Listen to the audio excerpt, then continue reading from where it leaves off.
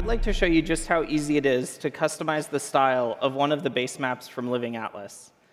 I start signed in to the ArcGIS for Developers website and make a new base map style. And I pick my base map.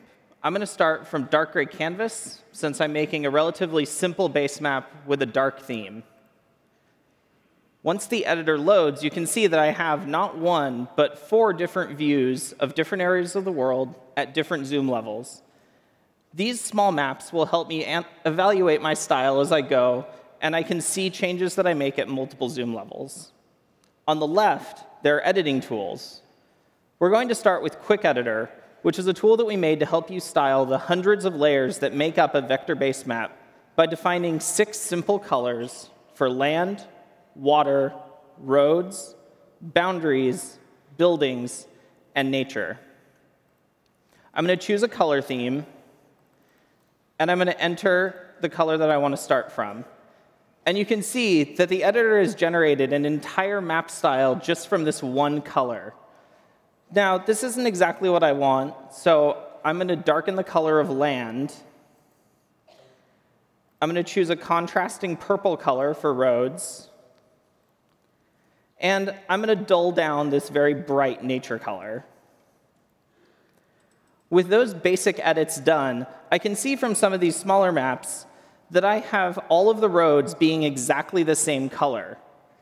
I'd like to differentiate the road network a little bit more. So I'm going to look at Long Beach, California.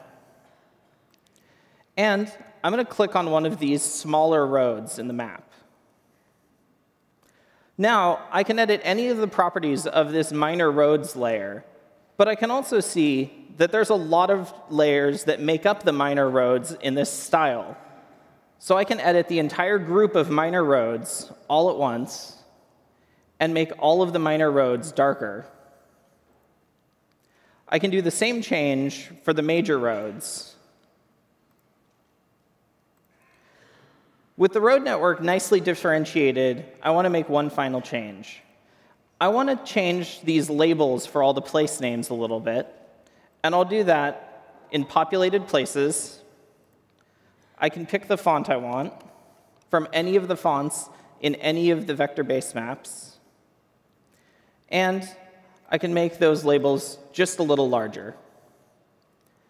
With my style looking good, I can save it and start using it in any of my maps or apps across the entire platform. Hopefully this shows you some of the intelligent defaults and bulk editing tools we've built to help you style your own base maps. Back to you, Euan.